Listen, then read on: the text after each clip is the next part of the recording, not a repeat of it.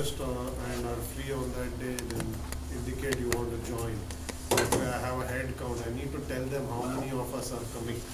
That way they can make appropriate arrangements for whether they need one or two to attend. That's number one. Second is, uh, lab two is done. I'm going to hand out lab three sometime this week. It's going to be due the last week of classes. Okay, so I'll give you three weeks, but I would also urge you to start early.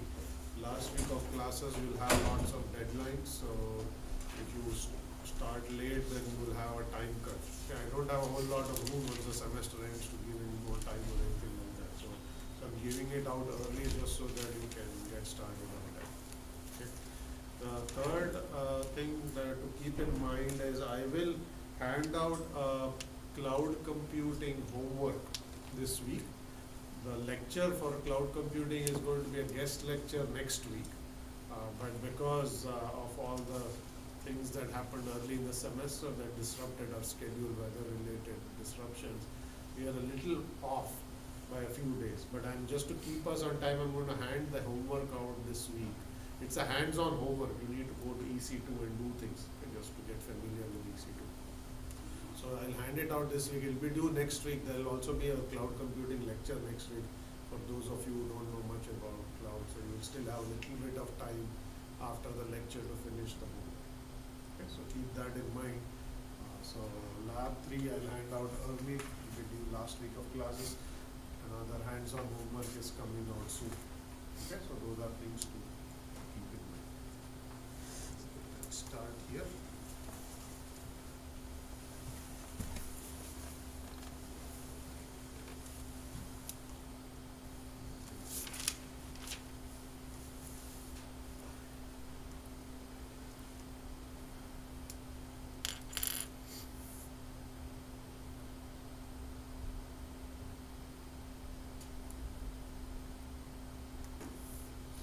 Okay, so today we will continue the discussion on distributed file systems. Last time I spent quite a bit of time talking about NFS, okay, just to get us familiar with the basic concepts in distributed file systems. Today I'm going to talk about uh, actually three different file systems. We'll talk about CODA, okay, which is a file system designed for mobile client access. I'm going to talk about XFS, which has a very different philosophy of doing this, uh, file system. Actually uh, so, uh, almost like a peer-to-peer distributed file system. In that context, I'm going to introduce uh, two concepts, which is uh, uh, RAID, redundant array of uh, independent disks, and I'm going to talk about log structured file systems. They both are incorporated in XFS. They are both independent systems, but they come together in XFS in a nice way. To talk about uh, HDFS, which is a file system that's used in Hadoop. If you use MapReduce or Hadoop, you'll know that there's something called HDFS. I'll very briefly touch upon HDFS and talk about object storage system. And given that we are talking about four or five systems, the, we'll do it at much higher level of detail, but you will still get the high level idea of what each of these file systems do. We will start with XFS, uh, not XFS, we'll start with CODA first. So CODA is a distributed file system that is, uh, that, uh, it was a project that, uh, came out of CMU uh, about 15, 20 years ago. So it's a, not a very new project, it's been uh, around for a while. And the main, um, main motivation for CODA was to design a file system for mobile clients. Today, mobile clients are pervasive, but think about twenty years ago when laptops were not very popular, but they, uh, they thought that the future world is going to be one where you will have lots of mobile devices accessing data. And the question was, how do you design a distributed file system that is specifically tailored to the needs of mobile devices? Okay? So what does mobile device bring to the table that changes the design of file system? The main thing that uh, CODA worries about is this notion of disconnection or weakly connected clients. Okay, so the idea is if you have any mobile device, okay, it may, uh, let's say you have a laptop and then you use Wi-Fi to connect to your network, there will be periods of time where your Wi-Fi, uh, where you do not have any Wi-Fi access. Your laptop is no longer connected to the network. Okay, so maybe you go uh, from the department and go home while you are traveling between the office and your home, you are not connected. Maybe you go on a plane ride and maybe you don't have network connectivity. Okay, so there will be often scenarios where you are going to be disconnected from the network. Right? And then the question is, what can you do from a file systems perspective to help users continue to make progress and do their work? Okay, you could simply say, you are not connected to the network, you cannot have access to your files, in which case users are not going to be able to do anything. Okay? But on the other hand, if you can intelligently cache whatever data the user needs and then continue to access that, they provide access to the data while they're disconnected, you can actually be more useful from the user's perspective. So what Coda has is a file system cache that is used in some interesting way as we will see.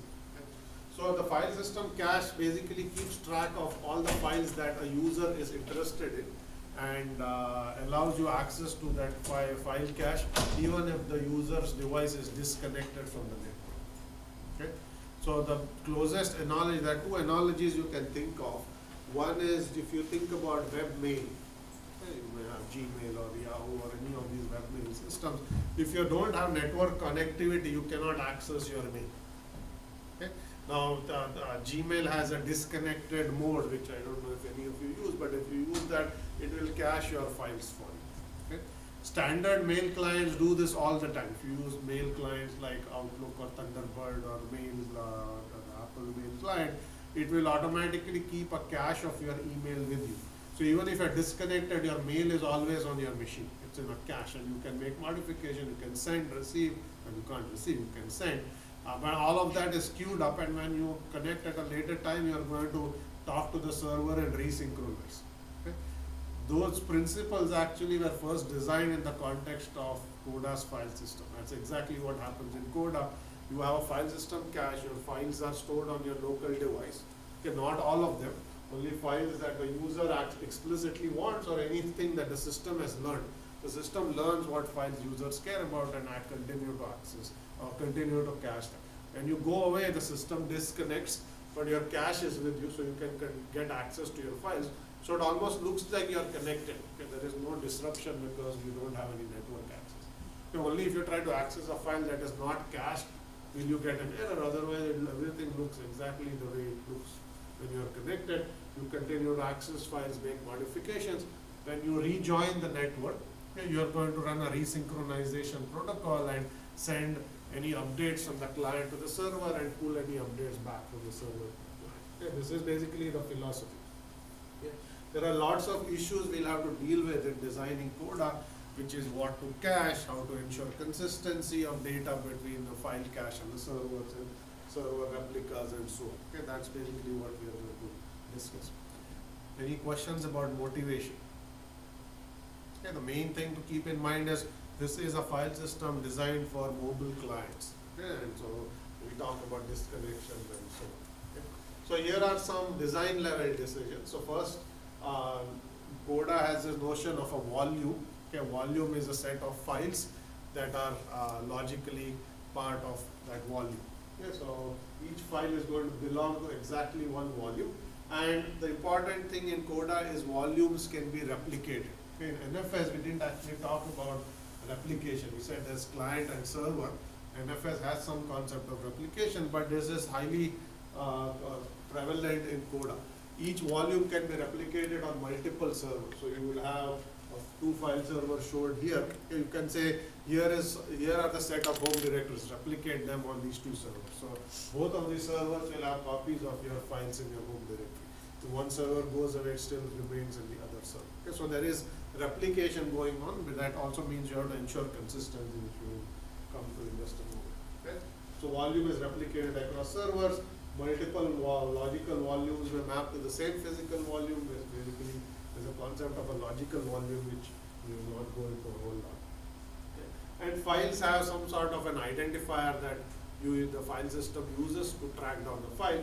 The identifier basically includes, think of it as a server ID and a file handle.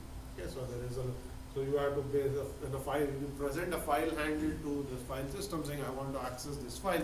It includes or it encodes two pieces of information. One is what volume is it stored on. Okay? There's a volume ID and there's a volume map, as you will see that here. There's a volume database which allows you to figure out where is this volume. Okay, so it will tell you a list of all the servers that are replicating the volume. You can go to any one of them to get your files. Okay, because you're replicated when you whenever you want to access a volume, let's say slash home, your home directory, you go to this volume database and say where are these volumes stored. If there's only one copy, it will point you to it. If there are multiple copies, you get a list and you can go access whichever one you want. And then there's a file handle that allows you to track down the specific file or the directory that you're trying to access on that volume. So that's just file identifiers. Now there are more interesting things happen when you think about replication and disconnections and so on. Uh, as far as Coda is concerned, it uses a very simple idea which is read once, write all. If you remember when we talked about uh, Gifford's quorum based protocol, where you said you have a write, you send it to multiple machines in the write quorum. When you need to read, you need to go to all machines in the read quorum and read. Okay? In that context, I said there's a special case where if you wanted to read from exactly one machine and always have that file being returned to you be correct, then your only option is every write has to be sent to all members of the one uh, quorum. Okay? And that is what we call read once, write all. Okay? So this is an example of a system that uses the same idea from a quorum based protocol where every write to a file is sent to all the volumes that all raw volume replicas. So now if you, when you want to read, you can go to any one of them and you're guaranteed that they are the most recent. Okay. So barring network partition, of course. So, so here is basically what happens. Every write is going to all, in this case there are three servers, S1, S2, S3. They all have a copy of the volume and all, all files are, are replicated in three locations. Every time a user updates a file, that write is sent to all three replicas. Every time you need to read a file, you can go to any one replica and you get the most recent. So that's basically what how, how Coda is going to handle replication. Now the problem arises when you have a network partition. Okay, so here is an example where uh, you see that there is a network partition. That means that S3 has gotten disconnected from S1 and S2. They are still on two networks. Just the network link between S1 and S2 and S3 is broken. Okay? So some clients continue to access S3 here is a client B that's accessing S3 and some clients continue to access the other two volumes. Okay. So you may get a scenario where two different clients access the same files in two different partitions and update them. Okay. So your client B may access file 4 and change it and client A may also access file 4 these two servers and change it. So now you have a problem because you have a write-write conflict the same file has been updated by two clients independently and these two clients cannot talk to one another, neither can the servers talk to one another because the two networks they're on have gotten a disconnection as a network partition. Okay. So what the, what can CODA do in such scenarios? Okay, so uh, all you can do is actually detect that such a scenario has actually occurred. Okay, so you have to detect write-write conflict and flag it to the user, saying something has happened uh, this is equivalent to when you change some file, source code files in a source code repository, you may get a conflict often. Two users go and update the same source file and you check in your commits, you're going to get a conflict saying user has modified something and you may have to go and reconcile. Same philosophy. Okay? So you have to first detect that there's a conflict, tell the user that there's a conflict and force what is called a manual reconciliation. Saying this file has been changed. Okay, file system doesn't know which of the changes, which change should be uh, thrown away, which change should be kept, should it be merged, none of this is known to the file system. So you ask the user to deal. Okay, so that's the philosophy, but you still need to know uh, what, uh, how uh, this conflict occurred and when it occurred. And the way this is done is you basically keep what is called a version vector. Okay? Version vector is kept by each server okay? and it tells the server every time you see an update, you increment your version vector. It's almost like uh, think of it as a I shouldn't say a logical clock, but it is similar concept where you basically increment a counter which says how many every time you change the file you increment a counter. Okay? And you also, depending on who else has seen the writes, you will increment their count. So let's say that initially the version number of the file is version one. Okay, so all three uh, servers here are version one of the file, S1, S2, S3. So the version vector is one, one, one. Okay? Then a disconnection occurs. Okay? So now you're disconnected. Server S3 has the same version, which is version one, and S1 and S2 also have the same version, which is version one. Okay? Now B goes and updates that file. So server 3's version increments to 2. Okay? Server 3 tries to send that update to server 1 and server 2 and finds that they are unreachable. Okay? So it basically can only increment its version and it cannot send those changes to S1 and S2. So as far as it is concerned, the version vector now is 1.2 because it knows that its local version has been updated to 2 and it hasn't sent those changes to the other system, so it knows something has gone wrong. So it will say that as far as I know, these other two systems still have the old version of the file. Client A does the same thing, it goes and updates the file. Now S1 and S2 can increment their version, but they cannot send it to S3 because of the disconnection. So you will see that as far as S1 and S2 is concerned, they will assume that the version of the file is 2 to 1. Okay? Now when the network partition heals, which means that the network is, uh, this problem goes away, these servers are going to try to resynchronize, saying what writes did you see during the disconnection. Okay?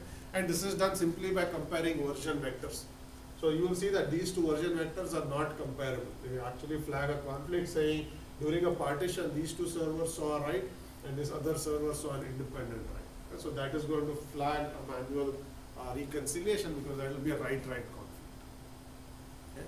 Now if only one of these two partitions saw a change, then the problem is easy because let's say S3 saw it but S1 and S2 did not see any updates to that file.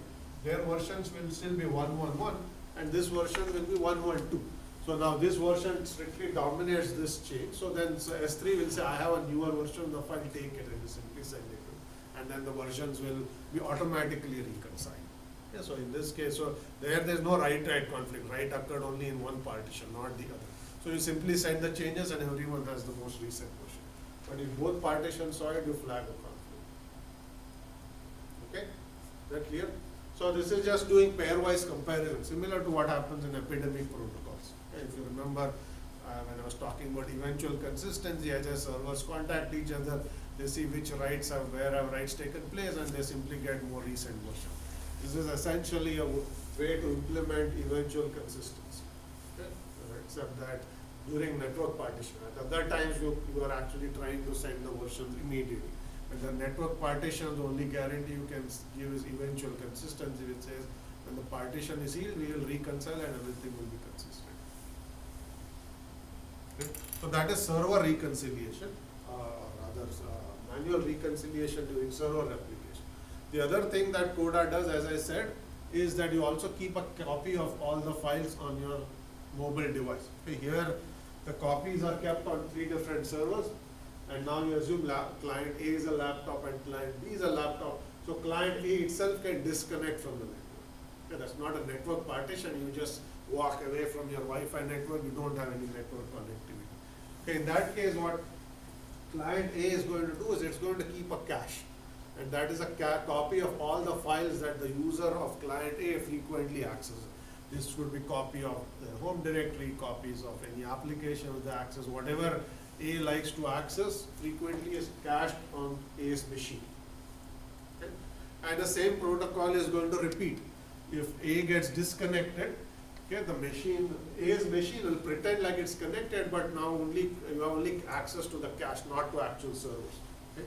So A's machine is going to pretend as if the server is actually online, but all reads and writes are going to the local cache you are going to do the same thing. You are going to keep version vectors or whatever changes are made and so on. And when you reconnect, you are going to run the same protocol. And this is the protocol that is shown in the next slide, which is the disconnected operation protocol. So what this says is that a device, a laptop, or any mobile device for that matter, can always be in one of three states. Okay? That's hoarding, emulation, and reintegration. Okay? When you are in hoarding state, this is when you're connected to the network and you're actively downloading stuff into your cache or your, your board. Okay, I may disconnect at any time, I'm connected at this point, it's time for me to keep downloading any changes, the most recent version of the file, so that if you get disconnected, you have a copy of whatever the user needs locally.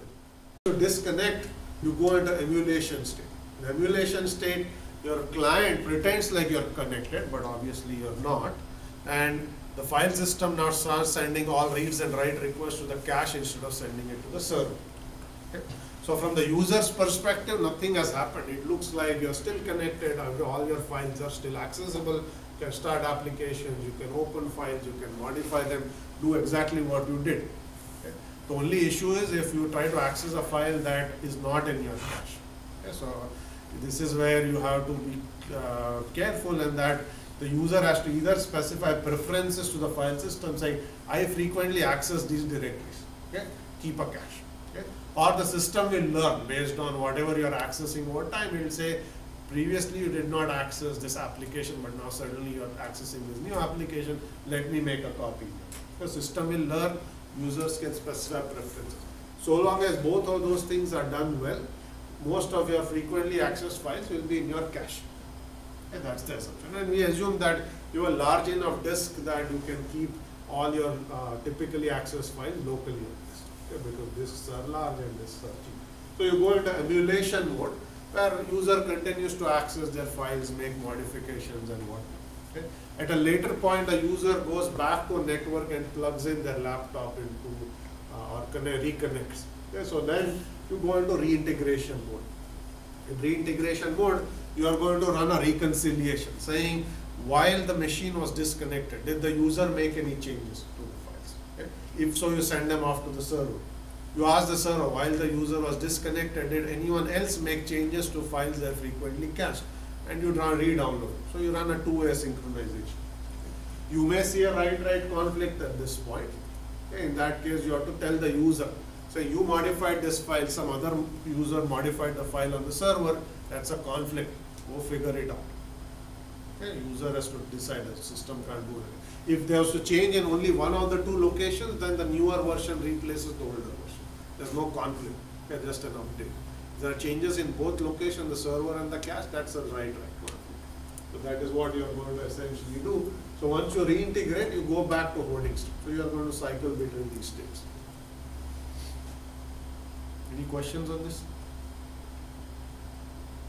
So this was actually a very early version of how you can implement uh, support for disconnected. Okay, today you see these ideas, although Coda itself is not used in any commercial setting, the source code is actually available and is part of the Linux file system source tree, but it's not frequently used. But these ideas are implemented in lots of different contexts. Okay, so if you have cloud-based storage, things like Dropbox, same idea. You may be connected to your Dropbox in the cloud, you may be disconnected. While you're disconnected or whatever is in your Dropbox is still on your machine. Okay? Some other client can make changes and it can get uploaded to the server. And then when you reconnect again, you're going to have the same reconciliation and you see that if two users make changes to the same file, while they're disconnected, it throws a conflict. It will actually create two copies of the file with a label saying conflicted copy and you have to go figure out what happened and reconcile. Okay? So these ideas live on in many different contexts. Whether it is you have you take pictures of your phone and your cloud-based photo storage and you re-upload them and reconcile or whether you use cloud-based storage techniques like Dropbox or Box. Uh, all of these basically use similar principles. So the ideas have lived on and been adopted by the system, but this was one of the early ones. It is almost 20 years old at this point, the first version of Coda. Any questions on this? So that's Coda. Okay, there's one more uh, couple of other things that I wanted to mention here. Uh, one uh, important thing that Coda implemented was they have this notion of a transactional semantics. Okay, so it is a, uh, also another early example of a file system that implemented this notion of a transactions and sessions. Okay? Which, uh, as I mentioned, transactions typically used in databases, but here's an example of a file system that used transactional semantics, which basically said while the file is open, there's one large transaction. When the file is closed, either you have to commit all the changes or roll everything back. Okay, if you have a write-write conflict, you can actually roll things back or force manual reconciliation. Okay, also if there are changes happening on multiple servers or multiple machines and a server, transactional semantics ensures serializability. They ensure that changes to files are made in a certain sequential order, even though changes are actually being made concurrently. Okay. All of the database concepts that we talked in the context of distributed transactions are actually implemented in this file system. Okay. It's a somewhat uh, rare case of file system implementing transactional semantics. Typically, you don't see this being implemented at the file system level. Okay, so that's something to keep in mind. There are, of course, other cache consistency protocols that are also implemented in uh, CODA. This is a complicated picture, but all that is saying is if a user makes a change to the file, and then that change is sent to a server, server keeps track of which other users have actually cached a copy of the file and you send invalidate messages saying whatever you have in your cache is no longer valid because some user changed that file. Okay, so if user, so that's what is shown here, that's the important part here, which is there's an invalidate callback that is made. So what this also says is that files, uh, the server is stateful. It keeps track of which users have cached what files so if some user modifies a file and others have cached it, you can tell those other users caches saying file has changed, please download a new copy. Whatever you have is now outdated. Okay, so and this can only be done clearly when users are connected. You're in disconnected mode, you can't send invalidate messages to users. But while you're connected, these are kinds of techniques that Coda would use to ensure all the caches have fresh content. Okay? Okay. So that is CODA. We are going to switch gears and now talk about another file system called XFS and in that context we are going to talk about two different context concepts rather, RAID and uh, log structured file system. Okay, so first, what is XFS? Uh, it's actually a file system that was developed as part of a research project at Berkeley. It was done in the 90s. It came after CODA but it had a very different philosophy. Okay? X here stands for no server. Okay? X is like you crossed out the server. Okay? In that, basically their philosophy is this is a file system where there is no client and no server. Anything can be stored on any machine. And we'll still make it all work. And the basic philosophy was uh, disks are large, lots of machines are lots of disks. Why only keep all my files on a server and waste the disk space on other clients? let's use all the disk space on all the machines that are connected. Okay? And if that is the case, then you basically have lots of machines that are somehow pooling their storage together. And you store content or files on any machine and you can access it from any other machine. So the whole concept of having a distinguished server is gone. Any data can be stored on any machine. Okay? So there is no real client or a server except that when you try to read files, you're a client and when you store someone else's files, you're a server. So each machine is both a client and a server at all times. Okay? So that was the philosophy for XFS and so it, basically they did not want any centralized uh, entity in their file system. Okay? So if you have a client server, you have a centralized server or a set of centralized servers for replicated servers in Coda. I said, let's do away with a centralized architecture completely. We'll have a completely distributed architecture which also means it's a serverless architecture. Okay. So it's an interesting paper to read. Yeah, I'm going to put a link to the paper. It's actually a nice paper. It has lots of interesting concepts. I'm going to only hit two high level issues in XFS, which is uh, this notion of how data is actually stored on multiple machines. And the second is uh, how you can optimize for certain common characteristics, which is more writes than reads. Now, because you have multiple machines, you have to deal with the possibility that some machines may fail. Uh, and if some machines fail, you don't want data that was stored on those machines to be somehow uh, disappear. So we are going to come up with some scenarios where even if some machines go away, the data remains accessible.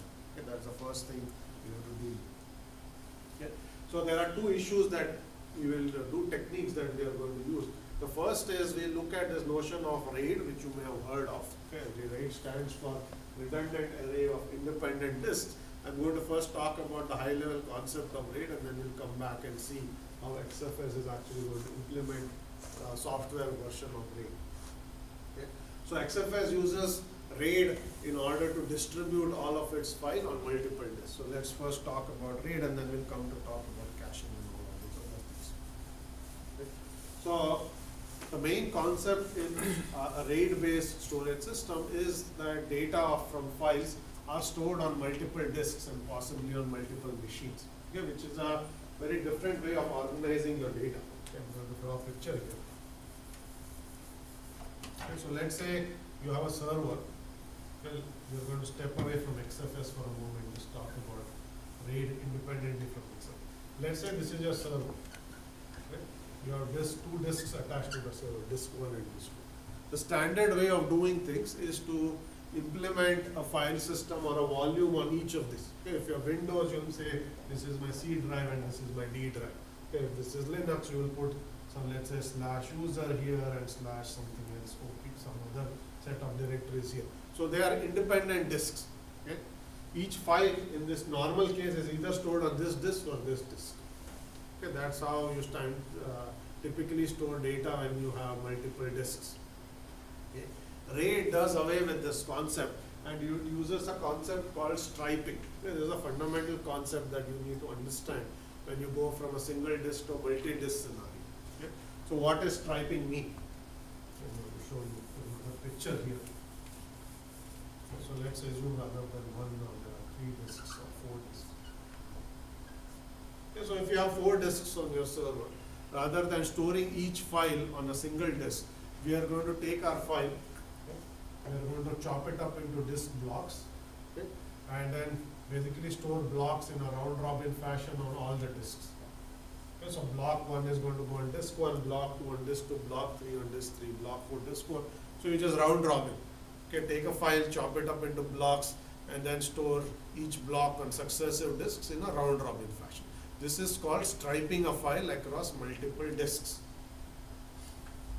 Okay, so now you can ask, what does this give us? Why did we do this? As opposed to taking one file and storing it here and taking another file and storing it on some other disk. So what does striping give us? What, what did we get out of this? You have any thoughts on that? Faster. You are reading and writing faster. You're reading and writing faster.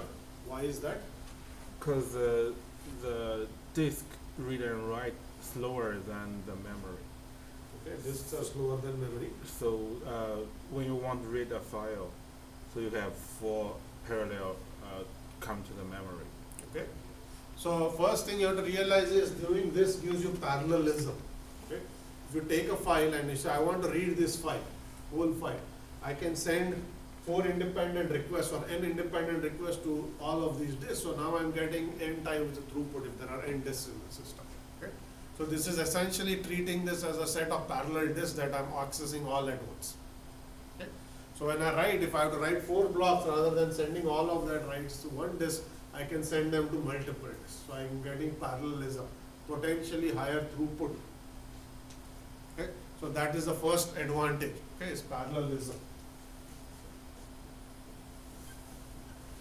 Okay, what other things can you see?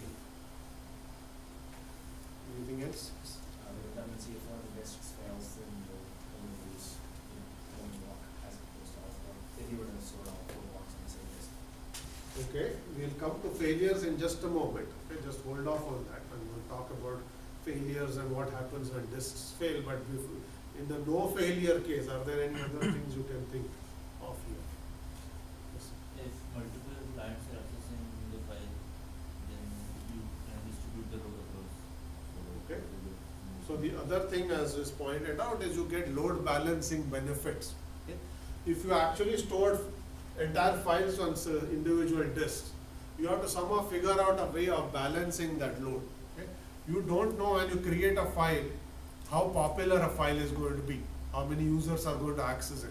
So it is entirely conceivable that files stored on some disks are less accessed than files stored on other disks. So some disks may get more heavily loaded than other disks. If you just store entire files on disks, because you don't know when you create a file neither you nor the file system knows. If you just arbitrarily stick it into whatever directories and so on, you may get load imbalances in the system. Okay, some files may be very popular, but they are stored on some in this, some disks that get heavily loaded. Other disks may be sitting there idle. Okay, so now when you stripe, you will see that the load is always distributed. Since all files are stored on all disks, it doesn't matter which file is popular and which file is not. All popular files are going to send their load to all of those disks, and you are fine. So you are actually using all of the resources and not causing load system. So you get parallelism and load, load, uh, better load balancing properties. Okay. Those are the pluses. Okay. Okay, now let's take a scenario of what happens if my disk fails. Okay, so may have n disks and one of them goes down. Okay, let's say this disk has failed. Okay, so the question is just wha- what, the- how does this scenario compare with the striping and the no striping let's take the no striping case where individual files are stored on individual disks. Okay. If this disk fails, okay, if you haven't done anything to keep a copy of the data there, all the files that were stored on that disk are gone, all the data is lost. Okay, but all of the files that are stored on these other three disks remain accessible. So Those disks are not failed. Okay, so let's say one fourth of you stored uh, n files, one fourth of your files are gone, the three fourth of your data is still intact. Okay. Now if you, what happens if you stripe all the files? And one disk fails.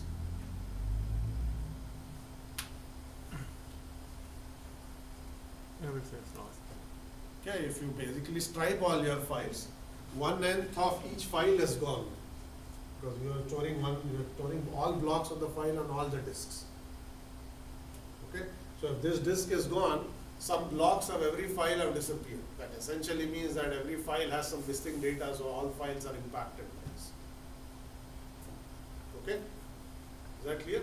So if you actually just do striping and don't do anything better than striping, your fault tolerance properties actually get worse in that all data gets impacted if any disk fails, whereas in the previous case, in our old regime, some of your files are gone, but the other files are at least there. Okay? Here, all files are missing data. Yeah, that essentially means all files are useless, all you lost all of your data. Okay? So that says that just striping, which gives us these two properties, is which are good properties, uh, is not good enough because if you have any failure, all of your data is going to be impacted. So you need to do better than that, and that is where our redundancy is going to come in. Okay?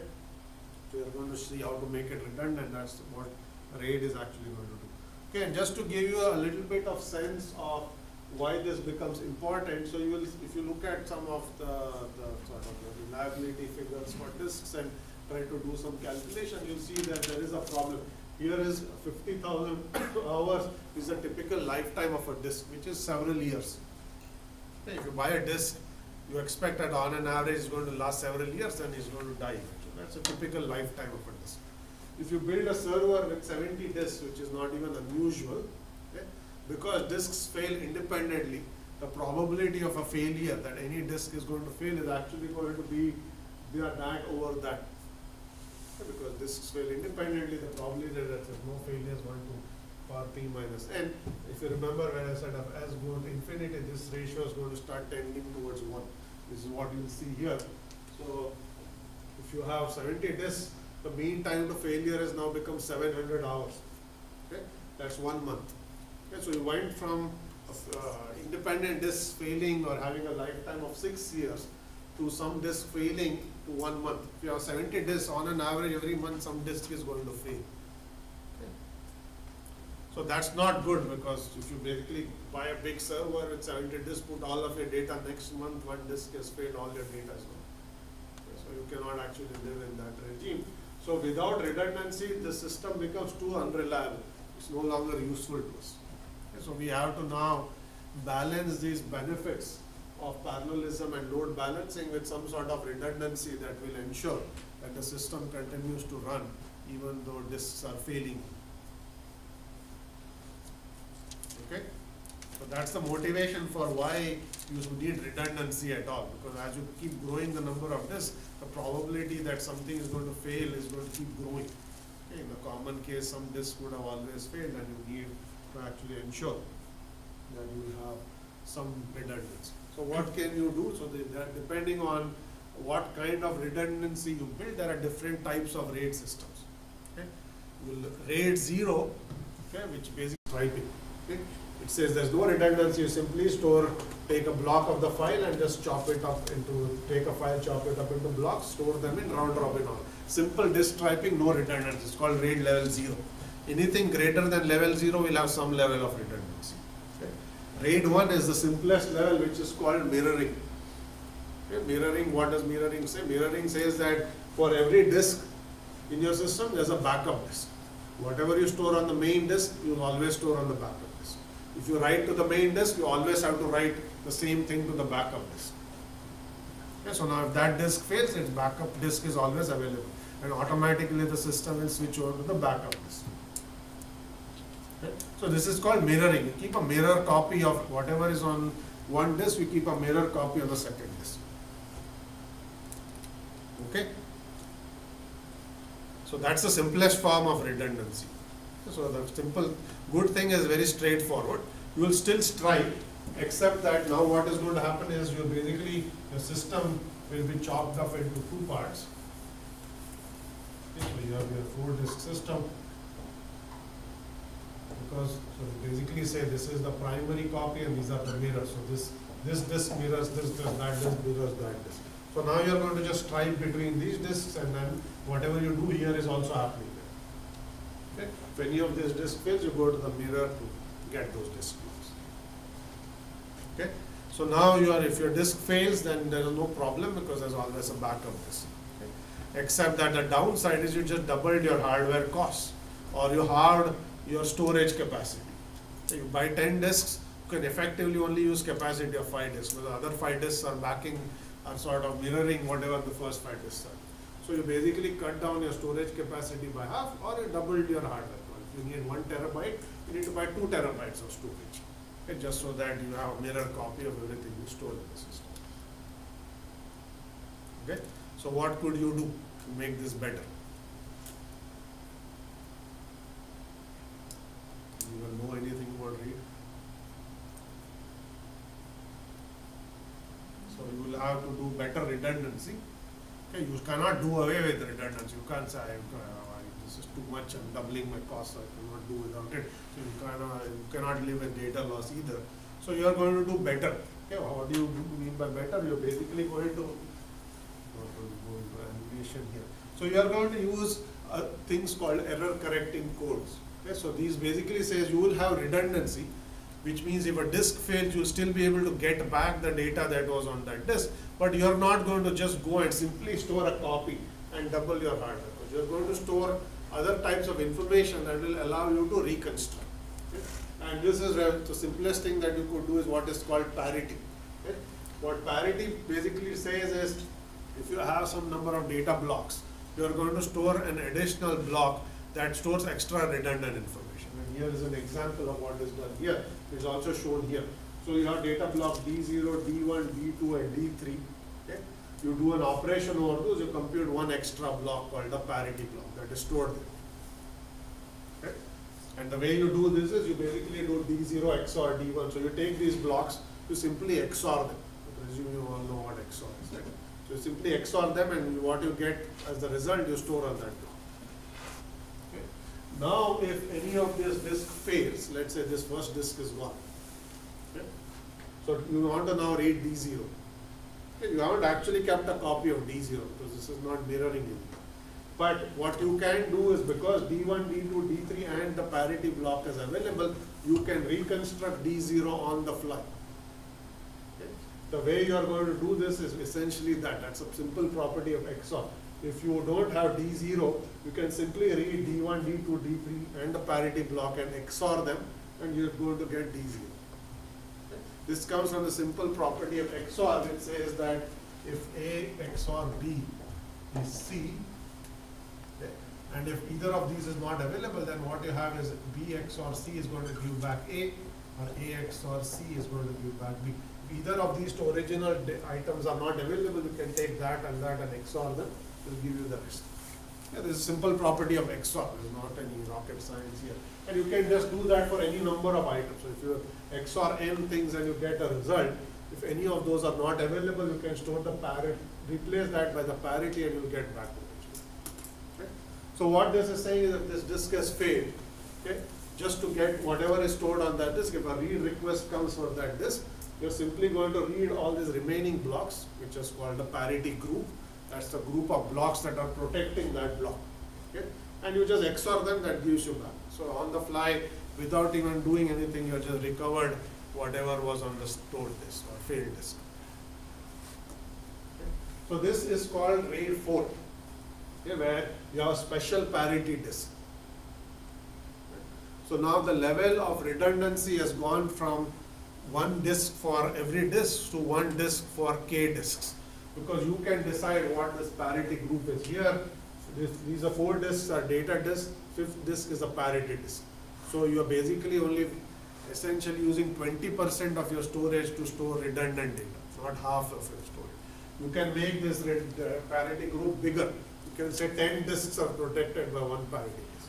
In that case, you're only using one tenth of your storage capacity for redundant information. You can change whatever size you think is appropriate for your system for protecting it. Okay. So this is RAID four, okay, where there's a special parity disk, and the only difference between RAID four and RAID five is in RAID five there is no dedicated parity disk, but these parity blocks are just spread across multiple. And the reason for this is uh, if you actually just do RAID 4 where you have a dedicated parity disk, this parity disk is going to become a bottleneck. Okay? The reason it becomes a bottleneck is anytime you write to any of these blocks, D1, D2, D3, D4, you have to recompute that XOR and always restore that parity. Okay? So this parity disk gets the write load of all the other disks in its group. Okay, if there's one write, each independent write coming to these four disks, there will be four writes here. Okay, It get k times the writes of all the other disks, so it will become a bottleneck. Because it has the highest write load of all. Because anytime you update any of this, goes without saying you have to update, recompute the XOR and uh, store the parity block. Okay, so that says every write on any of this disk is also a write there. Okay, so essentially that disk is going to get the sum of the write loads of all the other disks in this group. Okay, that makes it a bottleneck. Okay, and how do you solve that problem? You solve it by saying there is no parity disk. So here for this group you store the parity here. For this next group you are going to simply put the parity here and store D7 there. Okay.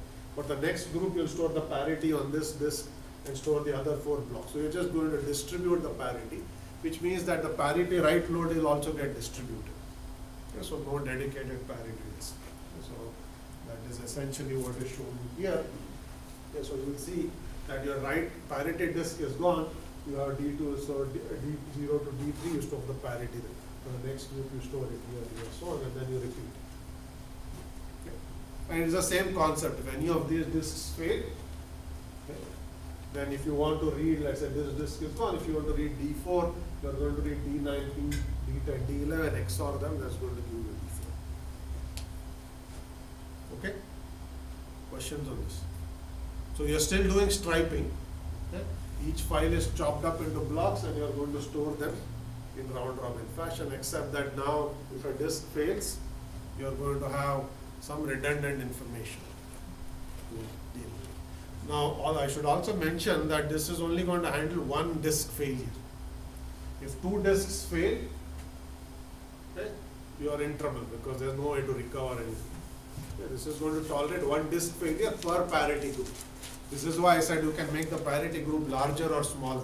If you make the parity group hundred, okay, and two disks happen to fail, then you are in trouble. But if you have two parity groups of fifty each, each of those groups can have a handle independent failures. If you have ten, 10 parity groups of ten each, each parity group can handle one failure. So that means you can have ten concurrent failure, one in each group, and you'll still be okay. So this is why you have to decide how to choose your size of your parity group or how many disks are being protected by a parity block intelligently, depends on the size and how risk tolerant you want to be. Okay? But multiple failures within the same group cannot be handled. Okay? For that, you need more sophisticated error correcting codes which will essentially store extra information to handle two disk failures or k disk failures. That we will not go into in this class. Can, if you know anything about error correcting codes, you will say if you lose k out of m bits, you can still reconstruct. Yeah, so those are all more sophisticated versions. The parity is the simplest of error correcting codes that only uses XOR, nothing more. But there are more sophisticated codes out there that will allow you to tolerate multiple concurrent disk failures within each group of disks. Is this clear? So that is RAID. Practically all storage servers that you will see that have multiple disks will use RAID. They'll do this automatically for you. Okay? Basically, when you give it a set of blocks, they'll stripe it, they'll compute the parity. If the disk fails, automatically the uh, RAID controller will say, this disk is gone, let me read the other blocks, let me reconstruct. So there's hardware there to actually accelerate XOR. Okay, You don't have to necessarily do this in software. So that's one concept in XFS. We'll Skip all of that. So the thing now coming back to XFS, we sort of digressed and went into RAID so that you now know what RAID is. What XFS does is it implements RAID in software where it is using a disk on each of the servers and it's do, using them as a parity. Okay, so now, now the disks are no longer attached to one server. We are back in this world where we have n machines. We have a serverless file system. So what we are going to do is the following. So you have machine one, machine two, machine three. Let's say each of them have a single disk. Okay, you want to store a file foo.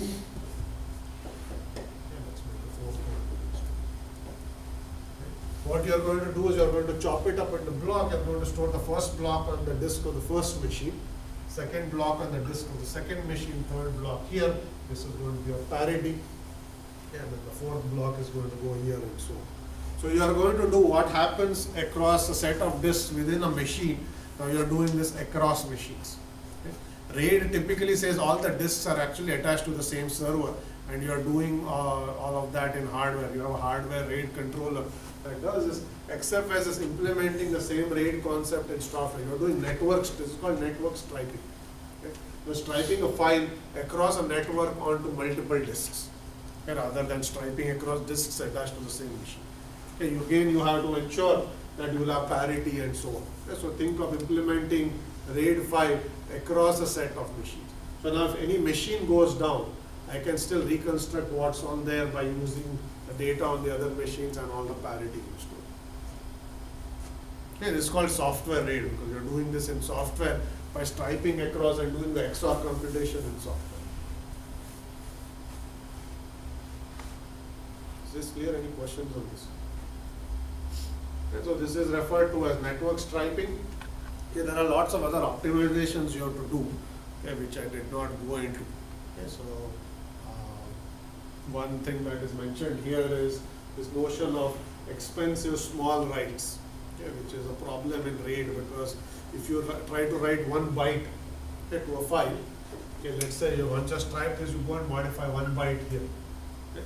To write that byte to this block, you actually have to now read all of the parity group, okay, update this block, recompute that parity, because you have to do an XOR. To do the XOR, you need all the other blocks. You're going to recompute the parity, and then you have to go, then you're going to write this block and the parity. So this in the RAID world is called a read, modify, write cycle. Okay? When you have small writes, you have to read the entire parity group. So to write one byte, I have to read n blocks. Okay? I have to then update the block that I'm writing to. Okay, that's the write. And then I'm going to recompute the XOR and then I write two blocks. So one byte has resulted in n plus two IO operations. Okay, which is expensive in the RAID. Now if you're going to do a large write, if you're going to write one megabyte, that's great because I don't need to read the old block. I simply, because they're all going to be overwritten and there's nothing to read, I simply compute a new parity and just overwrite the old blocks. Okay, so large writes are cheap. I simply recompute because all of them are already given to me by the application. Here is one megabyte, write it out. I just simply compute the parity and I overwrite the old block. Small writes are very expensive, okay, because you have to do a read modify write side. So then you have to then employ caching to uh, ensure that some of these operations become cheaper and so on. Okay, so these are all artifacts of RAID, but they get worse in XFS because you're doing network striping. You're not even reading blocks of files on the same machine. I'm going to send all sorts of requests to all sorts of machines, get data, recompute, send them over a network and so on. So that makes things even more expensive. Okay? So that is the first concept. Okay? Second concept in XFS is what is called a log structured file system. Okay? This is another interesting concept. So log structured file system was another file system that was actually developed in Berkeley. It preceded the design of XFS. Okay? XFS implements a log structured file system as part of its network striping layout. Okay? So I'm going to now do another digression and tell you a little bit about what an LFS file system. It's actually a very interesting file system. You need to at least know what uh, LFS based file layout is. And I'm going to uh, draw a picture again to show what this means. Okay, So again, forget XFS for a moment and we are going to simply take a single machine, okay, not even multiple machines. okay, And just look at, let's say one machine, one disk, this is disk, that's RAM, here's an application. So let's just take a typical file system for. Okay? Applications read and write data from the file system. They read and write files. Now the operating system wants to improve the performance of I/O because disks are slow. It will typically employ an in-memory cache. Okay? Every operating system that you can think of will actually have a file cache for the file system. Okay, because the disk is slow, anything that you read recently will be stored in the file cache. The application accesses that data again, you'll read it, you'll uh, respond on the cache rather than going to the disk. This gives you better performance because you're no longer getting slowed down by disk I/O. Okay? So now if you assume that you have a file system cache that is helping you improve performance, you can ask the question, what is the impact of that cache on the traffic that the disk is going to see? And let's uh, make that more clear. Let us say that applications issue equal number of reads and writes. So fifty percent of the requests are reads, fifty percent of the requests are writes. Okay? All requests are going to hit the cache. Okay? And let's assume your cache is performing well and you have a high cache hit rate. So then the question is, if fifty percent come here as read and fifty percent write, what is actually trickling down to the disk? If you have a high hit rate.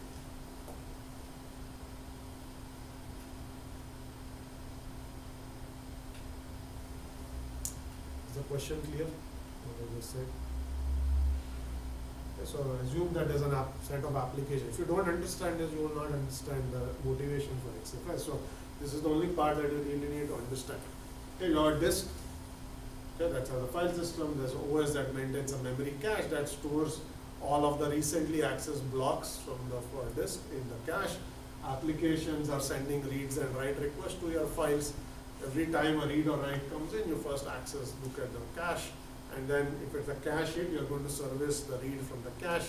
Otherwise, you have to have a cache miss, you go to the disk and read it. Now, if half the requests are reads and half the requests are writes, and they all hit the cache, cache has a high hit rate, what is the traffic that the disk is going to see as a result?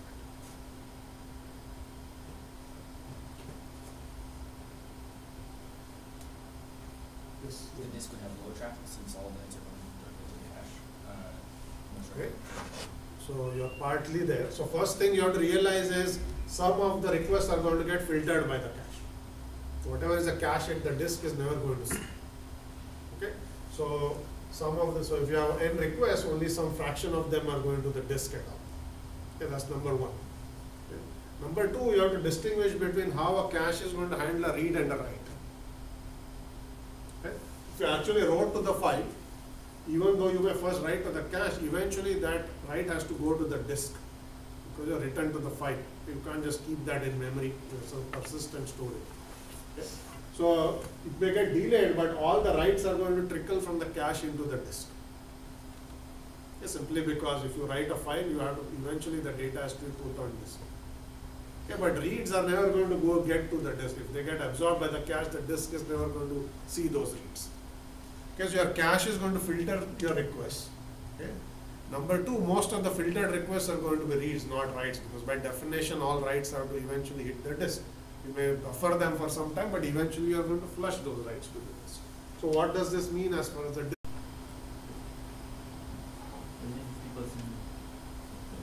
Okay, so basically your disk traffic will be write, mostly write uh, dominated. Because you have put a big cache and the cache is absorbing most of your reads, if you actually look at what is going on in a typical disk, most of the requests that are hitting the disks tend to be reads, uh, sorry, writes. Occasionally your cache misses for the reads, that will trickle, you'll read the data, you'll put it in the cache, and then subsequent reads for that block are going to be uh, handled from the cache. Okay. So what is this telling you? If you have a lot, lots of RAM and you put a large cache in there, which most operating systems will do, your file system traffic becomes increasingly write dominated. There are fewer and fewer reads that actually trickle down to the disk because most of the reads are handled from the cache. Okay, so this was the main insight behind LFS. They said write traffic is becoming more and more write dominated. Okay. So then the question is, how should you redesign a file system if most of your common case is writes and not reads? Okay, That is going to be the design of LFS. The observation behind LFS is if you put a cache, the cache absorbs your reads, what your disk is saying is mostly writes. Okay. So now if you have a write, so now we should ask the question saying, how do you redesign your file system to be write optimized? Okay, so uh, we haven't answered that question, but the motivation should be clear. So now we want to say, let's optimize for writes. Let's make writes as efficient as possible. How do we do that? For this, we need to go back and try to understand what disks look like and how they behave. So I don't know if most of you know this, but a disk is going to look like whatever your CD or DVDs look like. They have a platter and you basically, the, the disk is spinning, not SSDs, these are magnetic disks, right? So your disk is essentially like a CD or a DVD. It's spinning and you're storing data on the disk in concentric circles, exactly how you record on a CD. And there's a disk head. Okay, so if you want to read some block, you have to then move that disk head to the right track where the data is stored, and then you are going to read or write that location. Okay, so what that also means is every I/O request that the disk sees is going to incur what is called a seek latency, where you're simply moving your disk head to the right track where the block that you're trying to access is stored. Okay, so you're simply moving the disk head back and forth until it's positioned on the right track. Okay. And then you are going to wait for the disk to spin until the data you're reading is right under the disk head, then you can read or write that bits, those bits. So essentially what that means is for every I/O request is going to, if you are re reading randomly from disk, every I/O request is going to incur a seek and a rotational latency where you're not doing anything other than trying to position the disk head to the right place where the data is stored so you can read or write. Okay. So that's basically what you're going to incur. So now we want to see that if all of your requests are writes, how can we optimize this overhead? How can we reduce this overhead? Can you think of any simple way to write data to your disk okay, that is going to reduce or eliminate some of these overheads, secret uh, latency, rotational latency and so on. What could you do? them sequentially. Okay, so the way you are going to eliminate the disk overhead, the only way you could potentially eliminate the disk overhead is if every block you write, you just write sequentially. So there's nothing, no, nowhere for the disk head to move, because I just wrote a disk block here. Another write came in, rather than writing it to a random location, I'm going to write it to the next location. Okay, there's no seek in this case, because I'm already there. I'm simply just writing sequentially to disk. Okay, so if I write all of my blocks sequentially to disk, I've simply eliminated all my seek latency. Okay, seek is all gone at this point. Okay, so I'm going to get very high write throughput. If I wrote to random locations on this, saying a block the uh, first block got wrote there, second block got, I'm still moving back and forth. I have to move here, right, then I have to move somewhere else, right, and so. on. So I reduced all of that latency, or even eliminated that latency by writing sequentially to this. Okay. So this is referred to as a log. Okay. Log is essentially saying that I'm going to simply start writing sequentially. Why can I do that? Because the disk is seeing very few reads at all. So I'm only seeing writes. If I had a mix of reads and writes, I could not do this because the reads will force me to go and read whatever the user wants to read, okay, which will be in some random location. So I have to incur a seek to go there. Okay. If there is no read, I don't have to seek to arbitrary locations. Writes you can control because you control where you write your data. Okay, you start with an empty disk. Okay, that's it. And you start seeing writes, you are going to just start from the innermost track and keep on writing okay, until you hit the end. So that's my log. I have just written my log sequentially. Okay. And so, so I'll hit the end and I'll go back. Okay. Now that's the basic idea behind a log structured file system, saying that let's basically do away with this notion that I can write blocks wherever I want, which is what you have in a normal file system. You say that because the write traffic is dominated by writes, I am going to write sequentially. So that's the first idea. Now there are lots of complications that arise as a result. Okay. What if I wrote, well, let's say I wrote some file, let's say foo.java, okay, that got written there. I open that file, okay, then let's say it comes from the cache or whatever, I make some change and I write it back. Okay. And right now I am at this point in the log. This is all written and this is empty. In the normal file system, I would actually go back and update that block because I just made a change to it.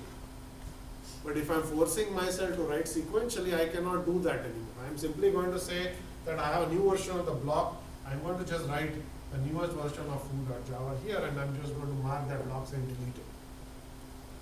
Because I only have two options if I update a block that I already written earlier in the log. I go back and update it, then I incurred a seek.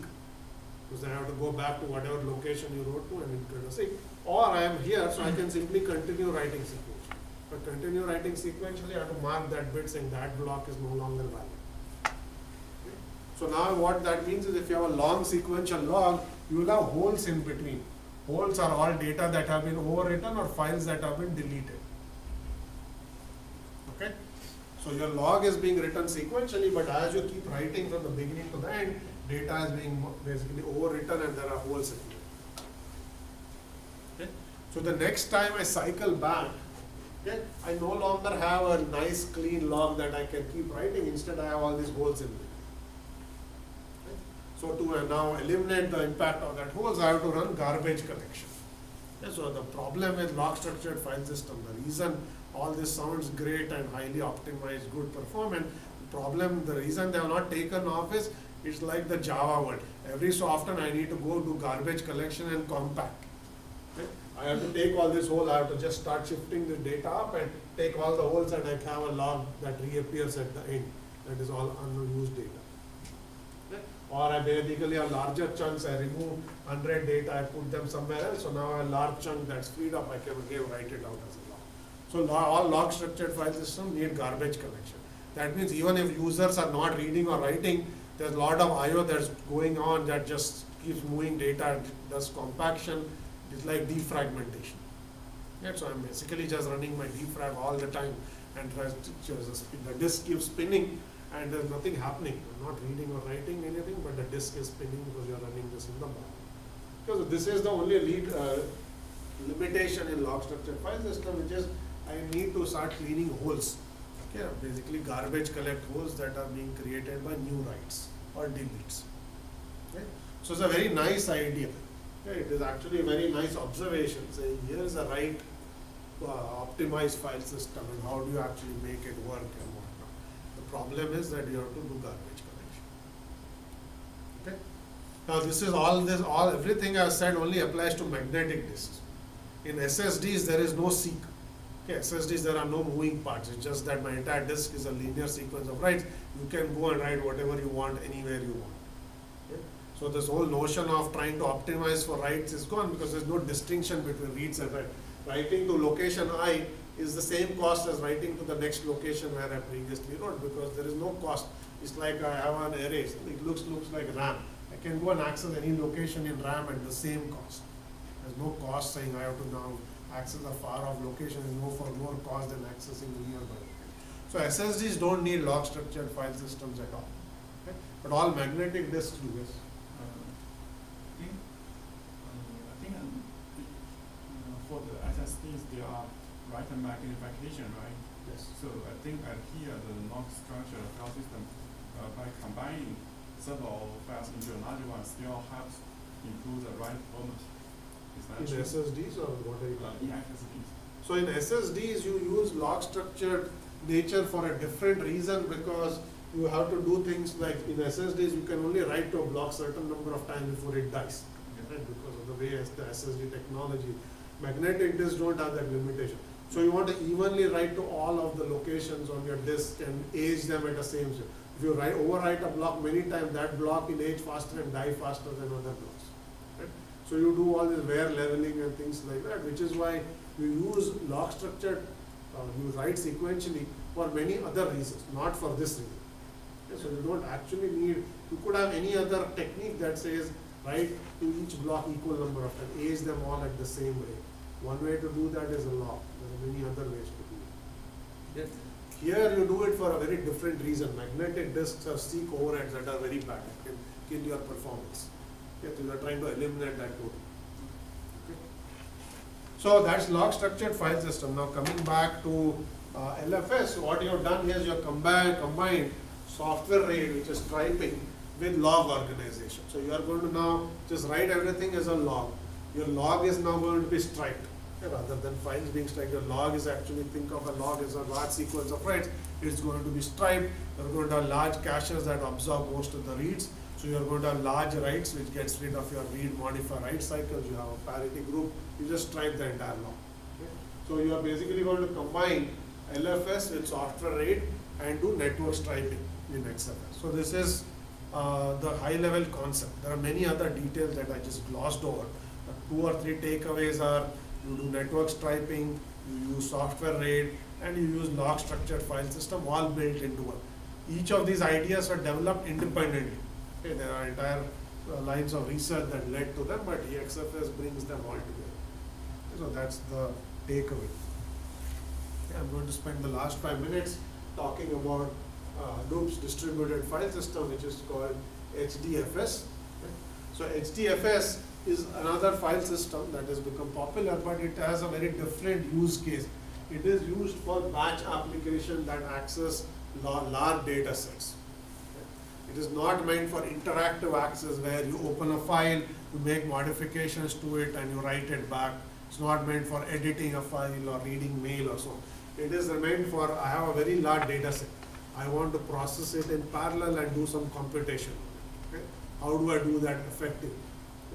So it is meant for read, reading very large data sets in parallel by lots of machines that do some computation. They may write some intermediate result. Okay?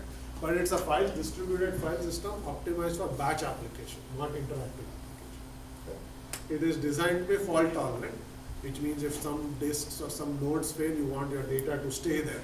Okay, you just put a terabyte data, you can't have half the data or some first fraction of it go away because the disk has failed. Okay, it is meant for batch processing. Okay, you write, wanted to scale to large number of nodes. Now HDFS makes an interesting optimization which says because it's a batch application that simply read this data and process it, it uses what is called a worm model, which is write once, read many. Which also essentially is the equivalent of saying files are immutable.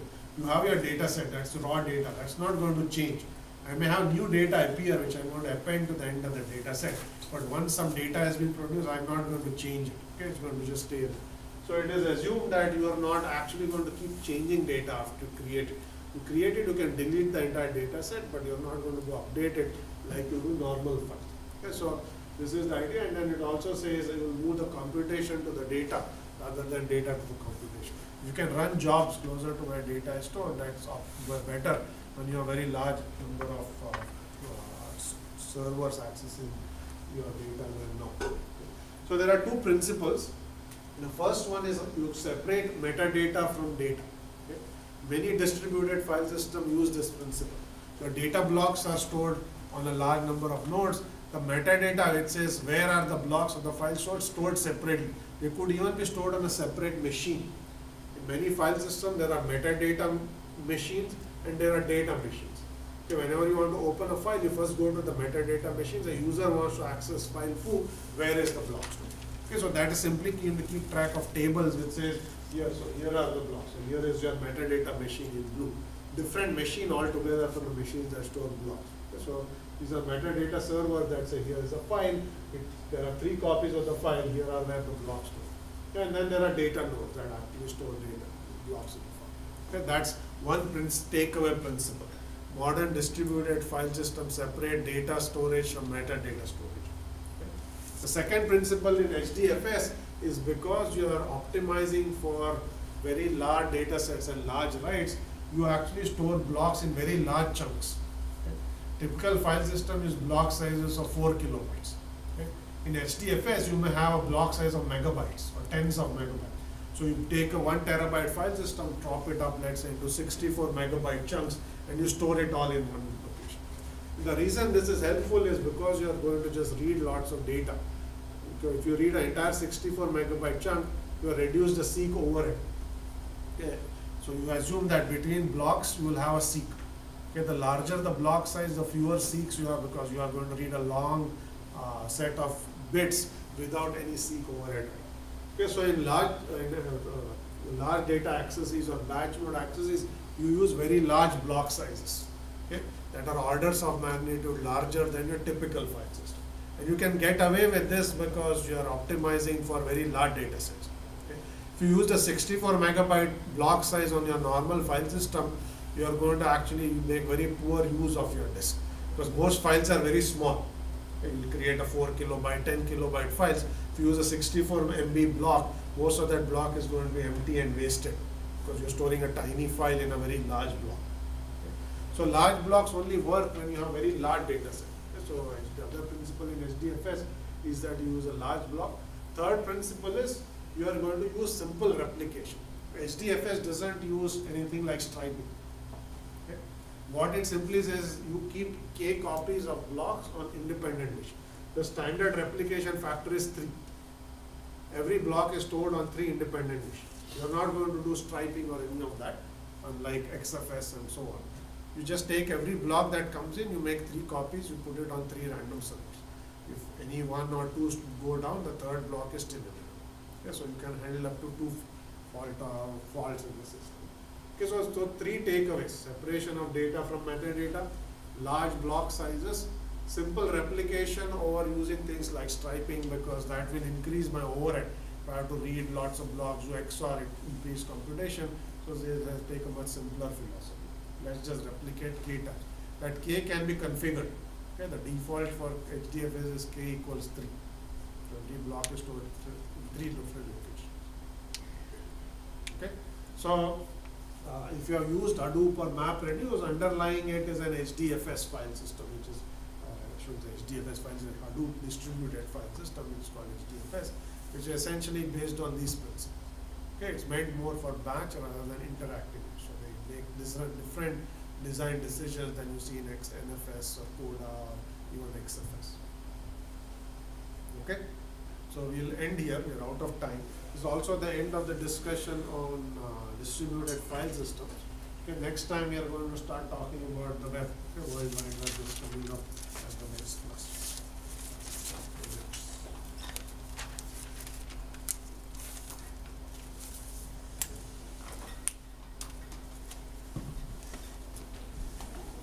Okay, so there is a homework due for those of you who